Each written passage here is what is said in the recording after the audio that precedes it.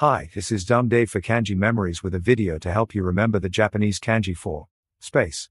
See kanjimemories.com for an introduction, or just follow along, and all will become clear. We start with the green kanji memories card, which shows just two main elements.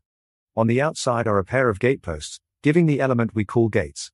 In the middle is the familiar symbol that is used for the sun. So together we have the sun shining through two gateposts. And now our Kanji Memories memory card, which shows an impressive set of gates on the edge of an oriental city. Through the gates we can see wide open spaces, while inside it is crowded. A low bright sun is shining in through the gates. We put the two cards together and look at the suggested association on the green card. Sun shines through the gates from the space beyond. Think of the gates in our image and how the bright sun is between them. Sun shines through the gates from the space beyond. The space referred to here can be a time interval, a gap between things, or even a conceptual gap. So, where do we find this kanji used? Here are two examples. You will shortly hear the Japanese for each, with the second and third repeats spoken slowly.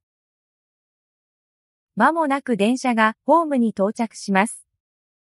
まもなく電車がホームに到着します。まもなく電車がホームに到着します。 コースは何時間かかるのコースは何時間かかるのコースは何時間かかるの And that completes this Kanji Memories video.